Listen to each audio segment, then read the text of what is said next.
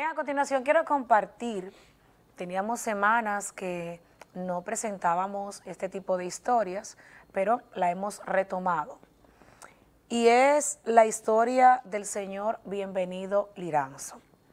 Hoy nos trasladamos hasta la comunidad de Atabalero, donde el señor Bienvenido se está quedando con una hermana que se ha dedicado a su cuidado. Con la mirada muy triste y apagada, el señor Bienvenido Liranzo nos narra los años de servicio que dedicó al cuerpo de bomberos del municipio de Castillo. Y tras ser diagnosticado con leucemia, fue desvinculado de sus funciones. Pero lo grave no es que fuera desvinculado de sus funciones, es que no recibió un centavo por sus años en servicio. A continuación comparto la entrevista íntegra que le realizamos al señor Liranzo. Siendo bombero, yo soy teniente coronel de los bomberos. Y a raíz del servicio, tú sabes que ahí hay eventos que uno tiene que coger mucho humo y cosas. Se me dañan los, los pulmones. Entonces, eh, me internaron. El mismo coronel me llevó al centro médico. Y de ahí para acá he tenido problemas de salud.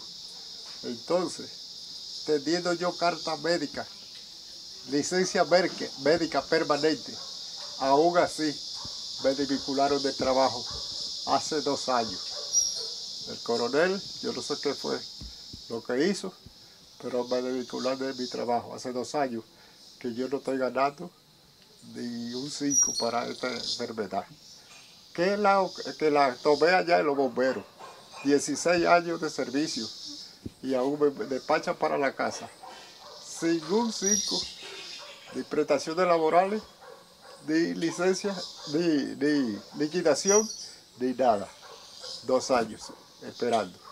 ¿Cómo ha sido este proceso médico?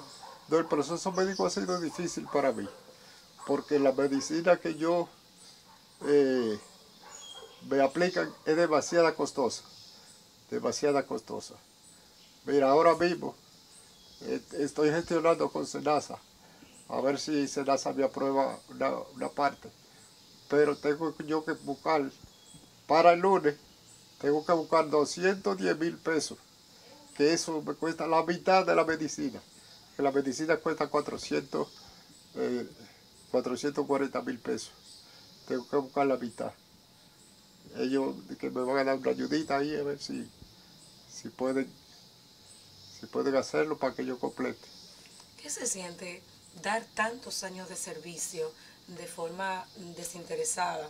Porque conocemos que los bomberos no ganan un sueldo y tener que permanecer postrado luego de dar tanto a la comunidad. Bueno, uno se siente, eh, diría yo, eh, que no vale nada que no, se vale, no vale la pena, diría yo. Porque cuando las autoridades, eh, diría yo, las autoridades, porque ya el coronel viene a pasar parte, el síndico, y que una, un miembro de una institución que, por ejemplo, ellos pueden hacer algo y que lo despachen para su casa, a que se muera sin un cinco, eso es deprimente aquí en este país.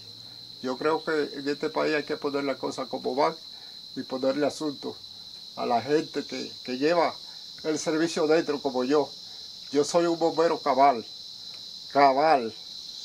Yo, yo porque estoy así, en esta condición no estoy metido en el cuartel, porque yo que me voten, yo soy bombero.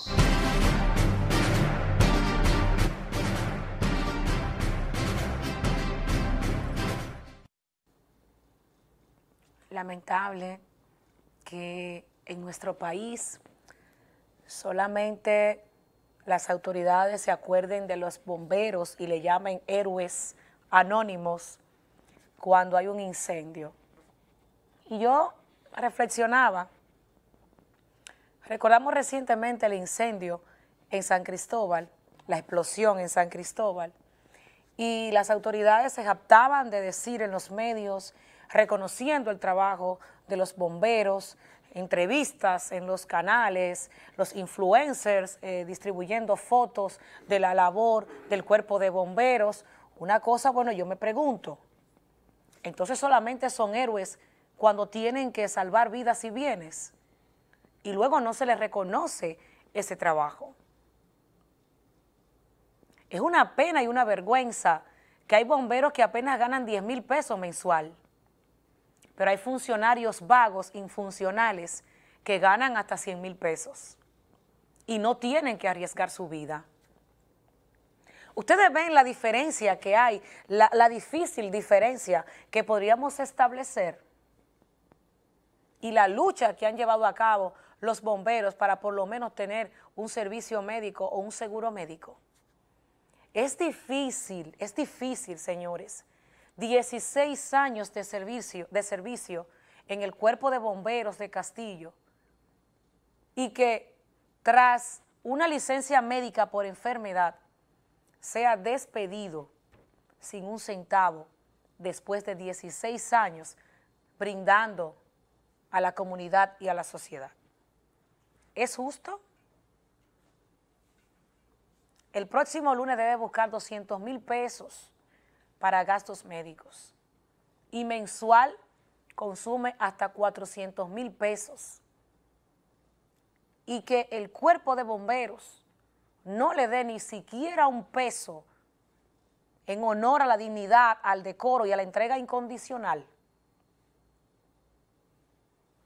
En nuestro país no existe una ley para el cuerpo de bomberos y lastimosamente los ayuntamientos, que son los que están a cargo de pagar a los miembros del cuerpo de bomberos, siempre dicen que no tienen recursos suficientes. Y eso también es lamentable y preocupante. Apelamos a la solidaridad en una situación difícil, ni siquiera una pensión digna, ni prestaciones laborales, ni un sueldo fijo mensual. Es decir, que entregó 16 años y al final se va a su casa a esperar el desenlace por la enfermedad. Y luego cuando nos referimos a estos temas, dicen muchos politicuchos de este país y de este pueblo de que asumimos los comentarios como algo personal. Dígame si es personal, usted que está viendo el programa ahora, que un miembro del cuerpo de bomberos, luego de 16 años de servicio, se vaya para su casa sin ni siquiera cinco pesos para comprar una aspirina. Y si usted me demuestra lo contrario, entonces yo no vuelvo a este programa.